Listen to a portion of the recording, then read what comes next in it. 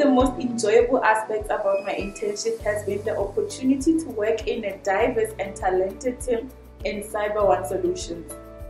Working in a team environment has allowed me to learn from others and gain new perspectives on cybersecurity challenges.